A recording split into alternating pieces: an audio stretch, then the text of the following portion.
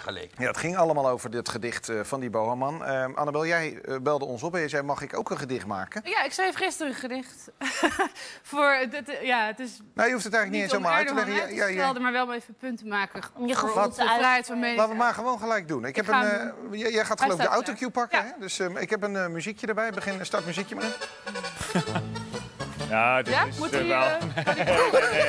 nee, nee, nee, nee, nee, nee, wacht even. die muziek wacht even, wacht Kan je niet op dit... Nee, we doen echt een, uh, een, een, een, candlelight uh, muziekje, oh, is beter. Ja. Noem Poetin een schurk, Merkel een faalhaas. Noem Rutte een plurk, trek Hollande aan zijn taas. Maar blijf toch af van Erdogan, het is Turkije's sterke man. De prutsende koning in Lucky TV. De koningin lacht als een paard. Ze zijn al jaren zo de risée. En de koning, hij slikt het, bedaard. Maar blijf toch af van Erdogan. Hij is een trotse Turkse man. Teken Obama altijd met flappende oren. Verbeeld Hillary stevast als heks. Zelfs Mohammed heeft zijn onschuld verloren. En Jezus-cartoons zijn vaak met seks. Maar blijf toch af van Erdogan. Hij ligt er s'avonds wakker van.